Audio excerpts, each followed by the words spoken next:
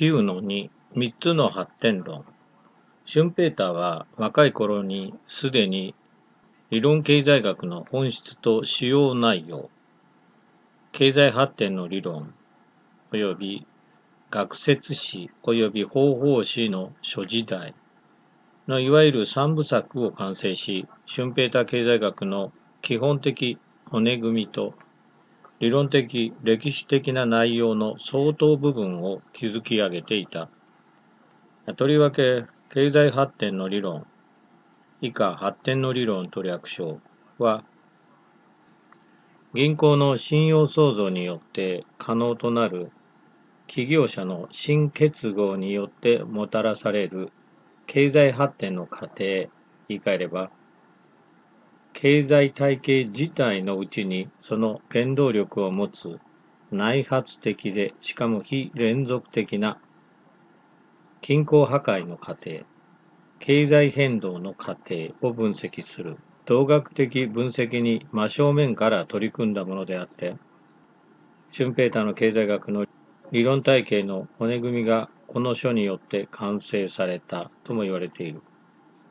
シュンペーター体系の中では、この発展ということが体系全体のいわば軸点となっている。シュンペーター経済学体系は発展を中心に拡大し、深められたと見てよい。しかも、経済発展の理論はあくまで理論の局面に経済分析が極限されていたが、シュンペーターは経済分析を3ないし4つの局面をもって構成されるものと見たとすれば、発展の理論における理論が歴史的統計的さらに社会経済学的に進化拡大されたことは当然である。発展の理論の拡大進化は1939年に発刊された景気循環論、さらに資本主義社会主義民主主義においてなされた景気循環論は、その副題にある通り、資本主義過程の理論的歴史的統計的分析であり、資本主義、社会主義、民主主義は、経済社会学的分析が主となっている。その三著は、シュンペーターの体系を構成する三つの発展論とも言うべきものである。シュンペーターの発展分析の出発点は、発展の理論、さらに景気循環論のいずれにおいてもそうであるように、生態的状態のモデル構成である。景気循環論の第2章では次のごとくに述べられている。それを説明することが我々の課題となっている閉じられた領域での自律的変動の諸事実を分析するには、一定の時間率で流れ、それ自体を再生産するに過ぎない普遍の経済過程のモデルを構成することから始めるのが便宜である。明らかにこのようなモデルは最も単純な形態での経済生活の基礎的な事実と関係を表現するものであり、このようなモデルなしにそれらを十分に明らかにすることはほとんど不可能である。でこういった生態的流れのモデルは、シュンペーター自身が経済分析の歴史の中で用いている言葉によれば、一つの方法論的擬制に他ならず、マルクスの単純再生産はこれに近似したやり方である。 stationary flow のモデルは、ワルラス的な一般的均衡の成立しているモデルで、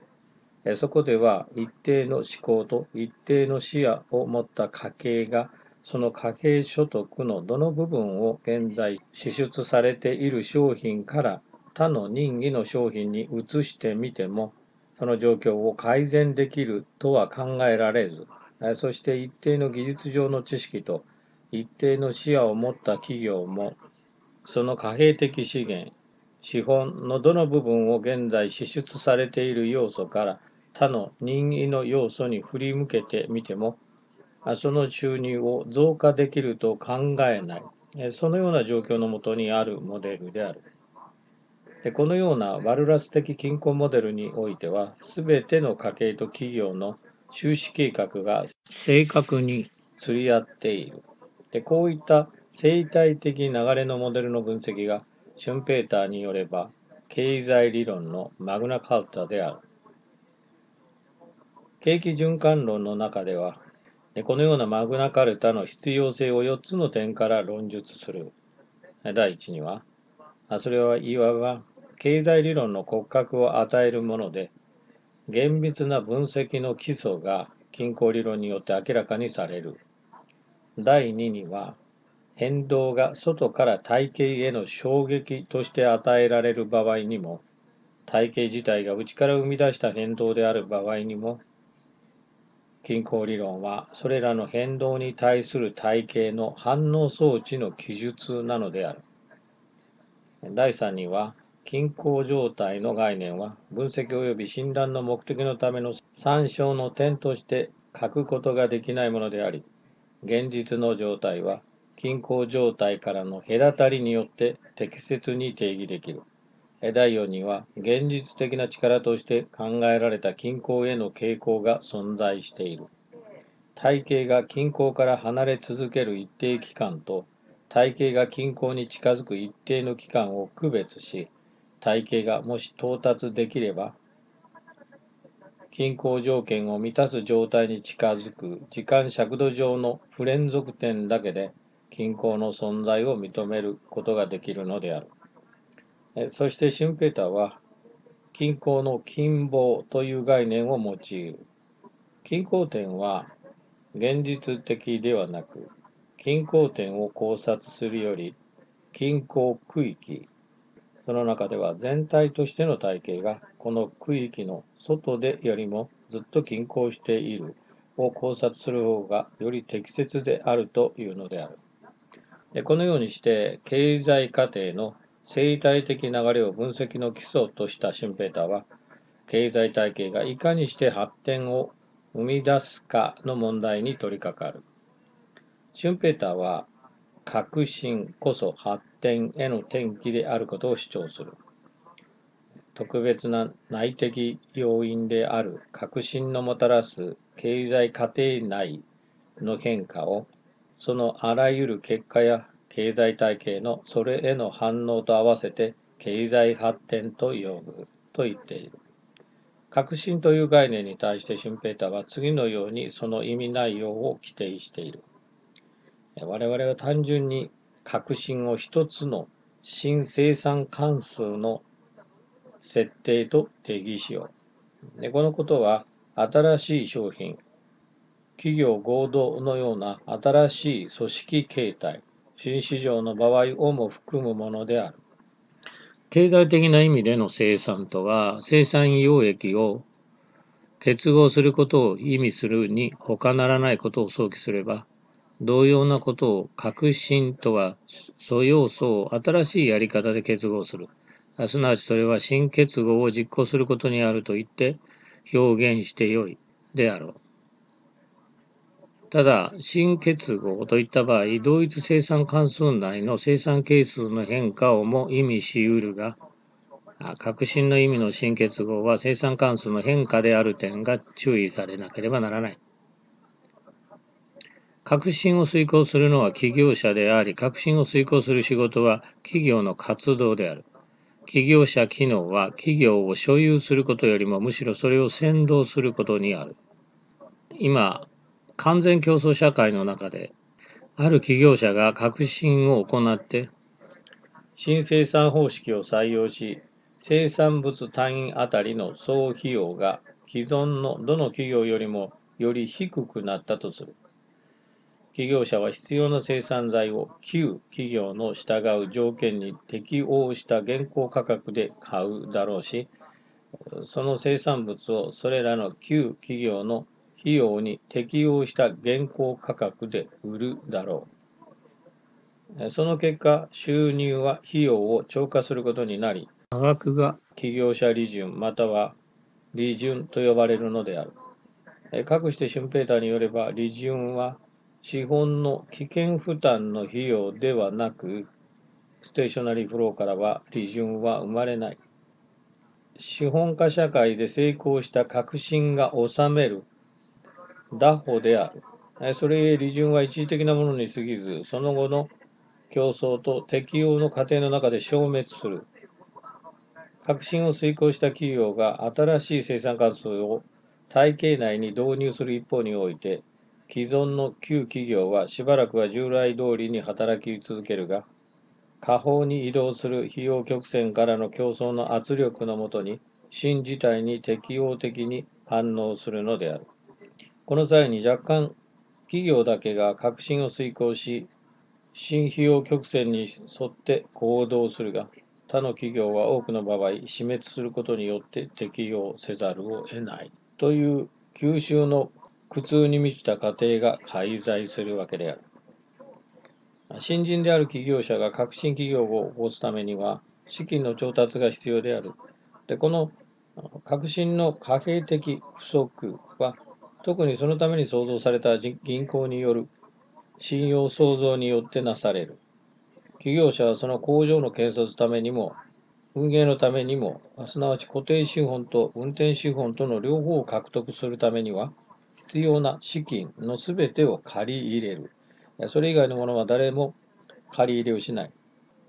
でこのような資金は特にそのために創造された支払い手段からなっている。銀行による信用創造と呼ばれるものと、革新との理論的関係はもはや失われることがない。というシュンペーターは、資本主義機構の理解のために、この関係は根本的なものであるとするのである。次に、利子についてみよう。生態的流れの均衡体系の中では、すべての企業は、平均生産費曲線と限界生産費曲線との交点に生産物価格が落ち着くような完全競争的均衡状態にあって、その収入は費用にちょうど等しく、利潤はゼロである。したがって、投資機会も存在しないから、利子率もゼロである。また、体系内のすべての家計は完全な長期的均衡状態に陥着いていて、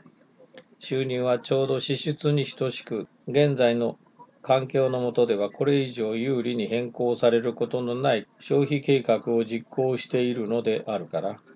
時間先行がなく、貯蓄がない。したがって、この点からも利子率がゼロとならざるを得ない。つまり、シュンペーターの生態的流れの均衡体系モデルの中では、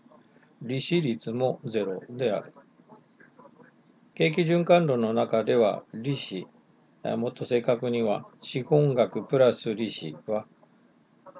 借り手が商品やサービスを獲得することに対する社会的許可を資本主義という制度型の下で、普通このような社会的許可を出すにあたって課せられる条件を先立って満たすことなしに、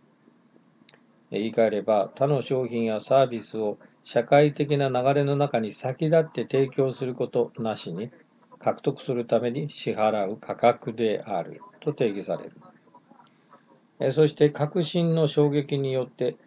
弱気される不均衡の中で生まれる企業者利潤や、